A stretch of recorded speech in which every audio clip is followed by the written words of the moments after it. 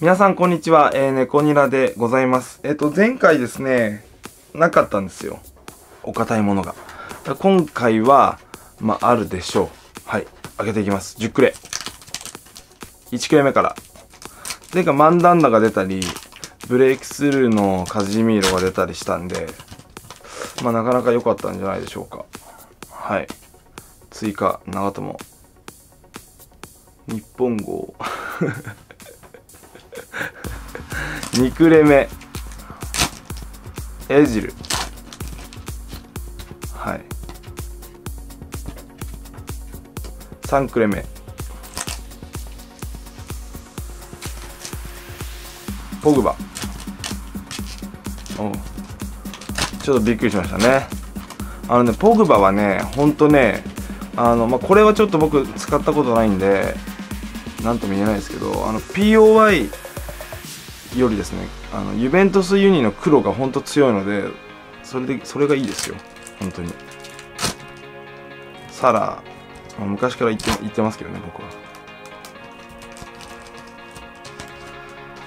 はいサラ。えー、5クレ目あジャギエルか。ジャギエルかですね。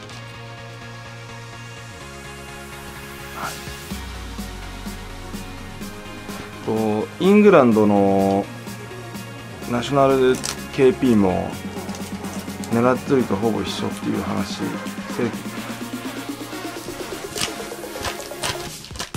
なので強いかと思われる思われたんですけどなんかそうでもないみたいですね。7クレ目。あぽいな。このひん曲がり具合。トリクローズ。あワールドベストイレブン。でお願いします。スペシャリスト。なるほど。持ってなかったです多分これは。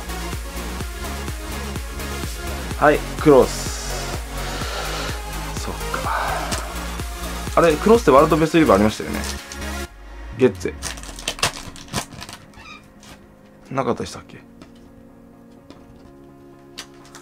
？9クレ目。ジョー・ゴメス。はい。ラスト。10クレ目。倉田。はい。という形で今回はトニックロースでした。またお会いしましょう。さよなら。